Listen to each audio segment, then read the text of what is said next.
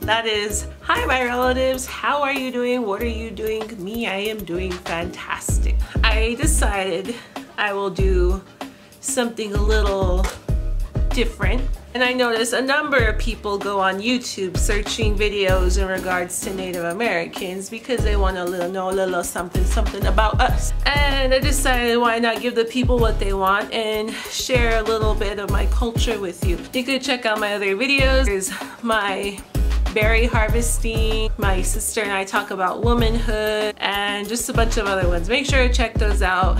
I did a Native American tag a long time ago, back when I was a wee child in college.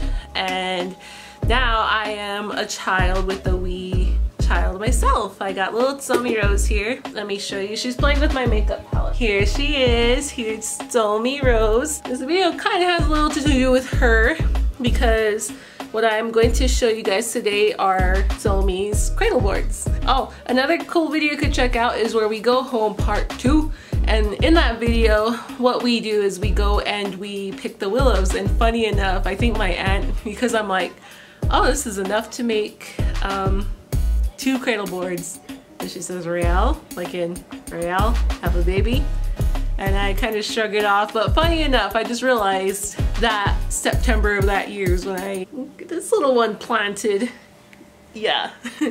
I'm gonna start off with this first cradle board. She has three and I'll explain why, so hold on. Okay, so here's the first cradle board and just as a disclaimer, as a disclosure, as for your information, for a lot of you who are non-natives, do not call them papoose. If you see me with my cradle board and you say, what a nice little papoose, I will,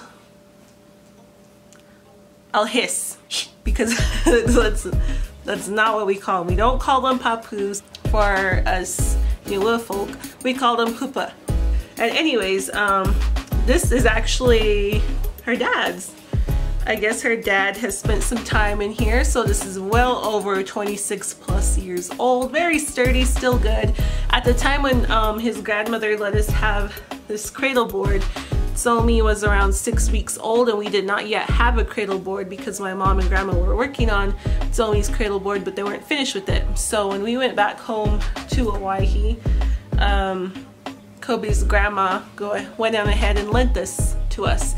And a lot of families pass down their cradle boards to one another. So like I said, Kobe slept in this cradle board and now his first little child, Tsomi, is sleeping in it, his daughter.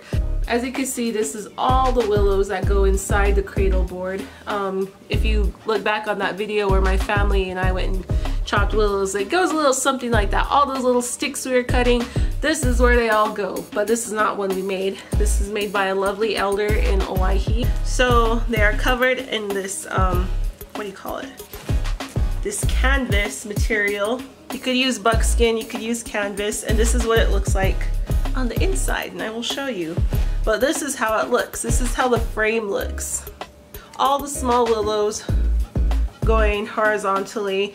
Larger willows are bent. And there's a whole process that goes with warming them up, like I think in hot water, um, so that the willows become more malleable and you could bend them in any shape that you want. See, it goes all the way down here. There's two larger ones that come down the center there's two on the outside and then the rest are the tinier willows all put together. Do you remember in science class when they would have you try to make a bridge and the stronger the sticks are, the stronger it holds together. So of these are tiny, tiny little sticks that you could break on your own, you know, just with one hand, just and break them in half.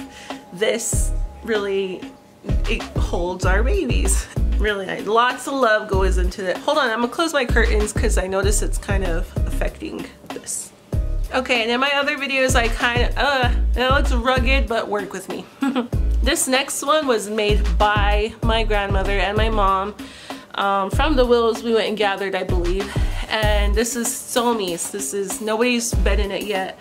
Um, made with lots of love. See the structure is the same as the other one. This is hers. It's very lightweight until you put a heavy ass baby in it.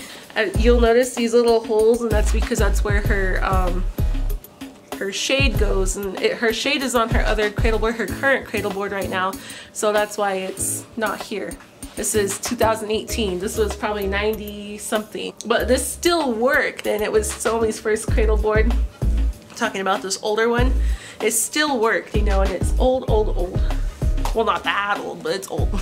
See, look at all the the willows as you can see and this also has canvas material on it. And Tsomi grew out of it. She was too tall. And it uses canvas material too because it's a lot more a lot more cooler because the buckskin tends to be for the winter time when it's a when that warmth is needed. And thankfully I got done with Tsomi's cradle board just in time for winter and just in time for her to fit it because um, she grew out of that cradle board. She got too tall. What do you call it? Her shade went up to the highest that it could go and she could no longer use that one no more.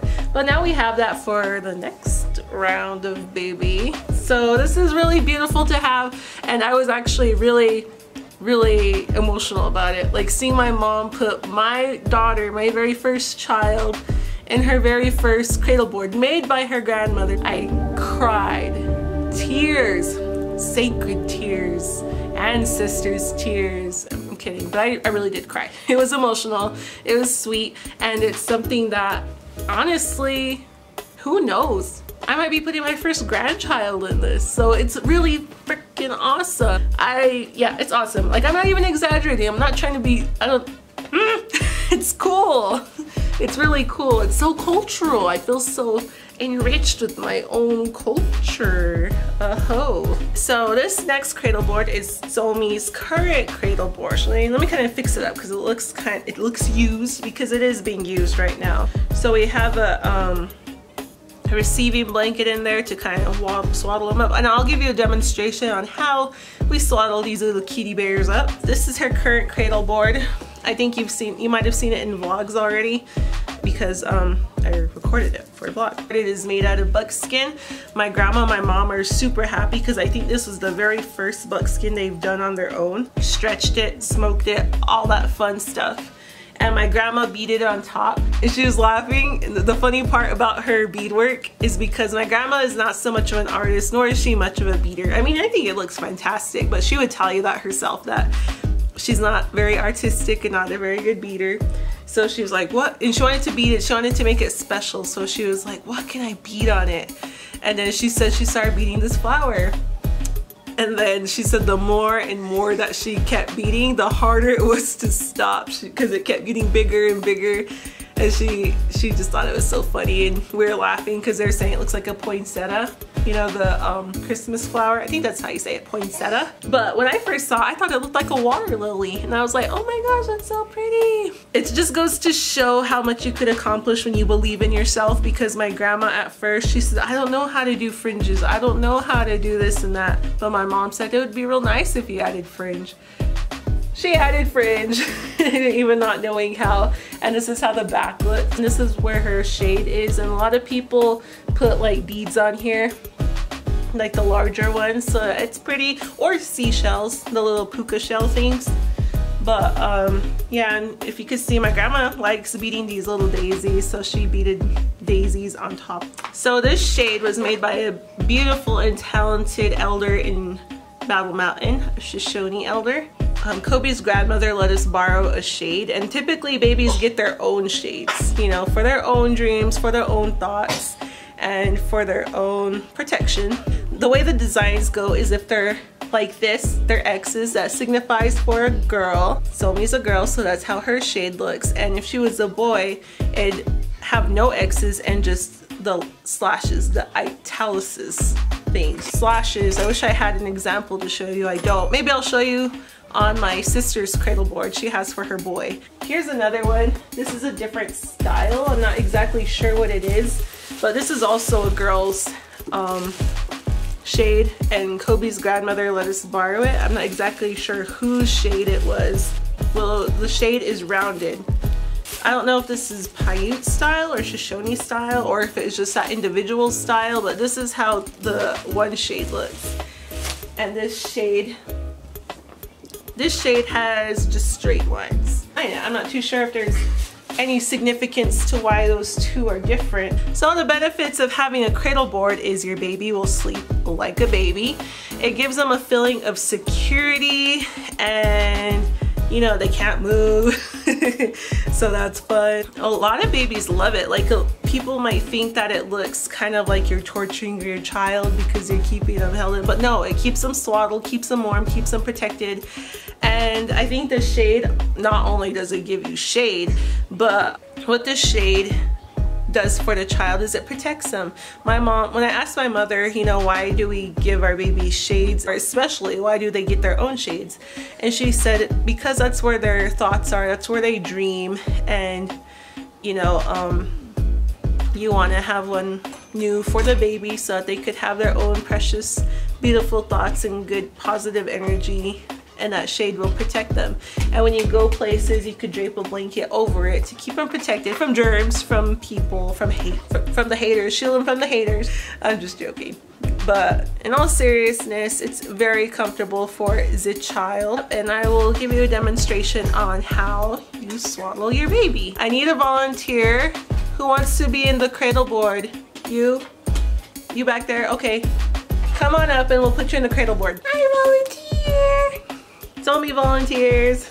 I'm already that Indian mom who volunteers her child to do everything. Oh gosh. Have poop? Do you have poop? No, she's good. How you're gonna wanna start it is you're gonna wanna um, lay out your receiving blanket, a blanket you swaddle your baby in out, like that. Next step you're gonna do is you're gonna swaddle your baby, like so. See, she already knows. So then you go over,